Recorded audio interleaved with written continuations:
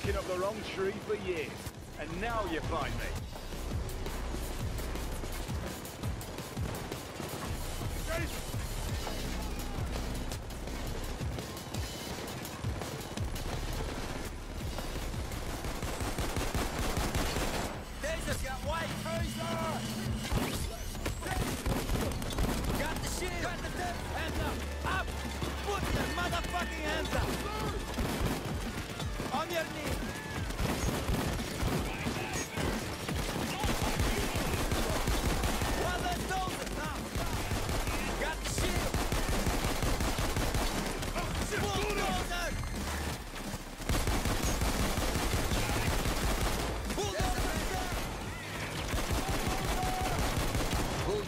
Taken care of. It's a bulldozer.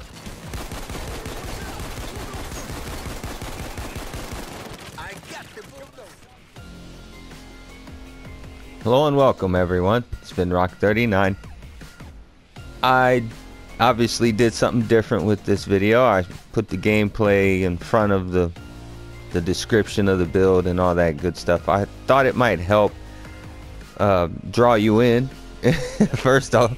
And then secondly, I, I get long-winded because I'm trying to do so much explaining. So I figured with that, I won't have to explain as much. You'll see the build doing its thing. And then you want to come in, see this quick little 5 10 minute video is what I'm trying to do with the description. So bear in mind, I'm going to do this as quick as possible. Uh, I did make this build with no DLC. Um, but I do have a DLC build. It's usually the same setup. You just have more gun mods. But uh, that video was actually shot with this setup here. And I'm using an Eastman 12 gauge shotgun with no mods. No gun mods whatsoever. I'm not kidding. No gun mods. It's the way it comes from the factory, right out of the box. Look at all these. No ammunition, no barrel, nothing. So, if you thought that this gun was garbage without any gun mods, I can say you are obviously mistaken. Uh, the secondary was the judge with Dragon's Breath rounds, and that's DLC.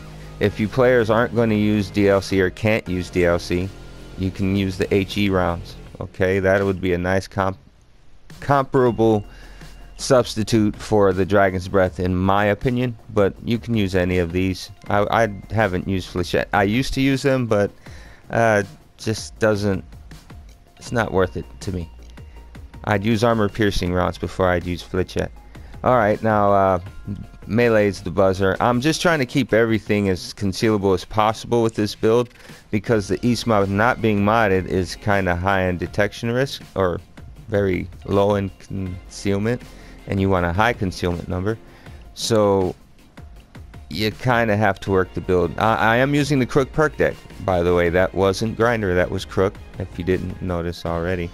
Um, here's the build. I'll just go straight to it. Mastermind, I'm taking Combat Medic, Quick Fix, and Uppers.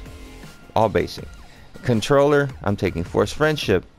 I'm acing Confident, I'm taking Basic Joker, and then I'm acing Partners in Crime, as well as Hostage Taker. Makes the build really good when you're talking about dealing with crowds and taking damage, actually.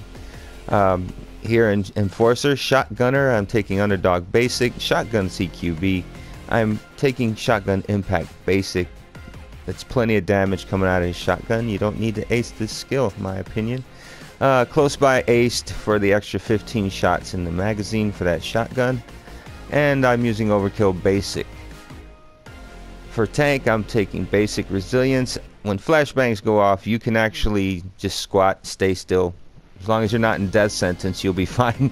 Um, just don't move the controller at all. And usually I survive them. So I stopped using the three points and used it in various other places.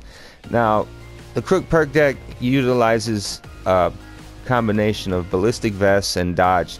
If you're wearing a ballistic vest, you're going to have more dodge with the Crook perk deck than you would without wearing a ballistic vest of any kind. So, or I like to say natural dodge. The dodge that you get when you max out the perk deck and uh, you don't use any other skills to get more dodge, like Sneaky Bastard. Alright, acing diehard here though increases the armor value of your ballistic vest and with the Crook perk deck it's it's incredible the amount of armor you can get out of that lightweight ballistic vest. Now here at Bullseye I'm acing that one simply for uh, regen on my armor. If you get a headshot can only happen one once every two seconds but it's still giving you armor back and it kind of protects your health. Iron Man basic coupled with Die Hard Ace, this is giving your 80 point value lightweight ballistic vest 195. So that's definitely a benefit when you're using the lightweight ballistic vest with the Crook perk deck.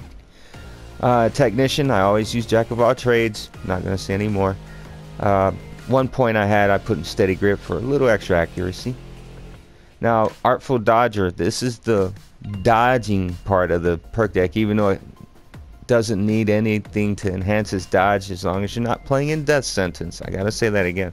Uh, duck and cover ace gives you a bit more dodge as well as giving you some sprinting speed. It's it's really useful. I noticed it helps more than when I didn't use it in testing. Uh, parkour basic, it really needed just to get that extra mobility speed. Being faster is always better, especially when you're using a dodge oriented perk deck. Now inner pocket's aced. I'm taking this to get that concealment number of 4 on my uh, ballistic vest, my lightweight ballistic vest actually, because I am running critical build here, so I need to keep my concealment as high as possible so my detection risk will remain as low as possible. Now, second one, basic, just to get up in this side of the tree, I'm taking optical illusions basic. Not being targeted is cool, or less targeted is better. Uh, low blow aced. I aced this skill because my detection risk is at 22 with the guns modded or not modded the way they are. And um, it's going to allow me to get critical hits and make that really poopy Izhma, which I hate saying is poopy Izhma because there's no poopy guns in the game if you can build around their, their weakness or their strengths, rather. Either way. Uh, this helps me take that, what was it, less than 50 damage from the shotgun and make that insignificant because I'm going to get critical hits a third of the shots I'm shooting and then I'm going to set off low blow basic once that happens, you're going to be doing massive damage with the shotgun, regardless of its damage numbers. On high value target basic, this is a good skill to soften the targets at a distance. If you're not, you know, that's how I'm using this build. I could simply take this away and give myself a little more defense if I get too close to someone. And I can give myself a little ammo pickup if I want it and maybe a little more stability. You see what I'm doing. I'm really not going to do that. I'm just showing you what you might be able to do with those points if you so choose. But this is what I did before I made that, well, when I made that video. And that shotgun did its work. Uh, now, for those of you who have DLC, I would recommend doing this instead because you're going to have a shotgun that you can keep your detection risk really low with. And I'll show you, I'll show you that one. I actually have one modded. Uh, I take the same Izhma and I pretty much get those DLC mods that come with the Gage Spec Ops pack. I did put triple odd buckshot here. Uh, the short barrel is from the Gage Spec Ops pack. That's the DLC that makes this shotgun so low in detection. No barrel extension, a concealment boost.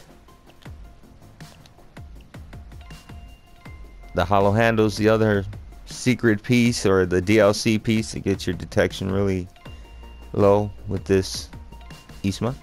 I'm using a compact laser module. You guys are all aware that we can change the colors and the flashlights and the lasers. I love that. I thought that was really cool. We deserve more, but that's good enough, I guess, for now. It's a nice little bone they threw us. The AK rubber grip. And the wide stock. And that's the modded version that I would use with this very same build. Um, the Judge shotgun, take, like I said, I showed you earlier, use whatever you like. This build is going to allow you to bring some first aid kits to help you out. You can bring a doctor bag, you can bring an ammo bag, whatever you want. That's why I use Jack of all trades. Lightweight ballistic vest, uh, Crook perk deck, and that's that. Now, this is how I used to build myself, but I wanted to prove that that Nomad shotgun could do its job for you. And this perk deck is vicious. I would recommend doing a few other tweaks to it, maybe skin it back some more, and try it in Death Sentence. I did, and it was more successful than all my other builds, but it's still Death Wish is better for me because it seems Death Sentence is unfair with the distance relation. It's still way off. Uh, lowly shield can shoot you two or three times from way down the map and take all of your health, and you you can't even see them. I can't even see them. You know, I have a big screen TV and I still can't see them. So I think that's the only reason why I don't like that Sentence really. But aside from that, I hope the build was useful, and I hope you guys and ladies uh, have fun. Take care, be well, and good games, everyone.